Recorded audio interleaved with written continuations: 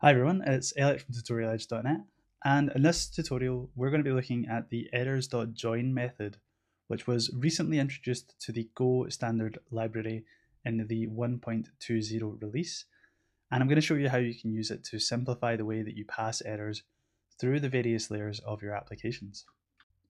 Cool, so let's dive right in. Now in Go it's not unusual for you to have multiple layers of your application and each of these layers will be responsible for different aspects. So you might have a repository layer, which is responsible for communicating with the database and attempting to execute SQL or NoSQL queries against said database. Now, for the purposes of this video, we're keeping it nice and simple. We're not talking directly to a database, but we're instead faking a database interaction. Now, in this function here, get user from DB, if we pass in an ID that does not exist, then we're going to be returning the SQL.error no rows error, which is a predefined error within the SQL package. Now moving one layer up from our repository layer, we are going to have a fetch user profile function, which is going to handle fetching from the database and then handling any errors that return from it.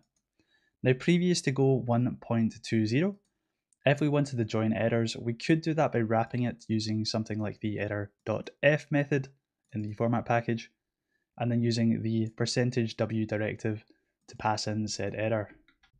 Now, whilst this approach did work, there were some limitations with it. Now, the key limitation was that you couldn't wrap multiple errors together prior to Go 1.20 being released.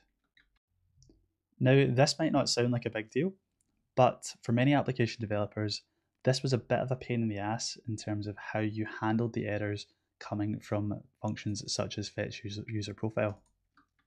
Now let's take a look at a concrete example of what issues this would present developers in the past. Now in our main function, we're attempting to call this fetch user profile function. We're passing in the context and we're passing in an ID.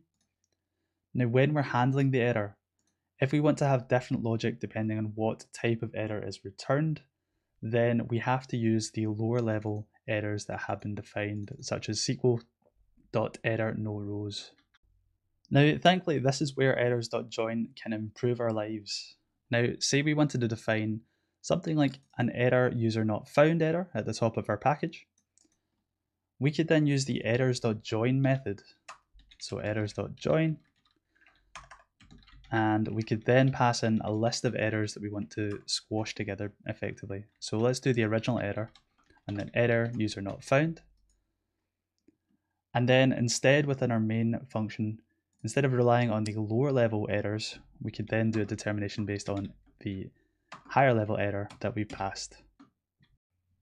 Now let's verify this all works as we intend it to. So let's do go run main.go and as you can see, the first print line statement is executed. And then when we return an error from fetch user profile, this logic then is truthy and we print out the error, which is the combination of SQL no rows in result set and could not find user.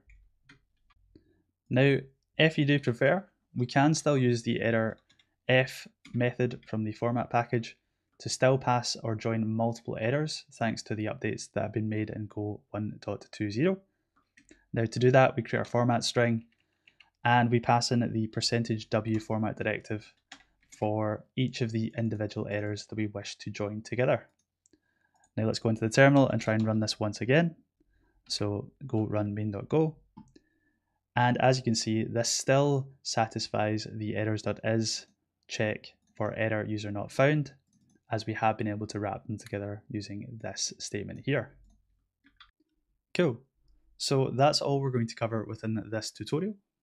Now, this was a really exciting addition to the standard library, and I hope you find it useful for improving the way that you propagate errors through your own Go applications.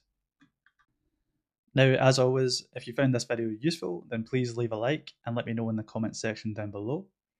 And if you fancy Subscribe to my channel for more Go programming content. Cheers.